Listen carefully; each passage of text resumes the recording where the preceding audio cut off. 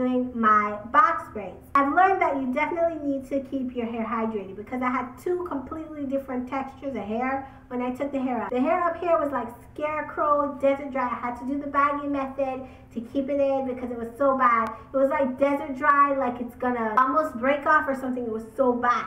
And the hair back here felt like really moisturized, like actually good, like touchably soft. Never do box braids just off a wash day. You need to make sure you reapply your twisting butter, preferably a souffle. Reapply that stuff because it needs to have some sort of water in it, not a butter, but something that's moisturizing and sealing at the same time, like a souffle or a pudding or a custard.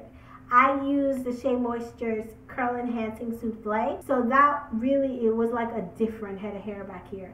And I remember before I did each box braid, even though it took a little bit more time, I put some souffle on that section before I braided it up. And the sections I didn't put on, it was just like, yeah, I mean, like a different world, like no life. It's really, really important.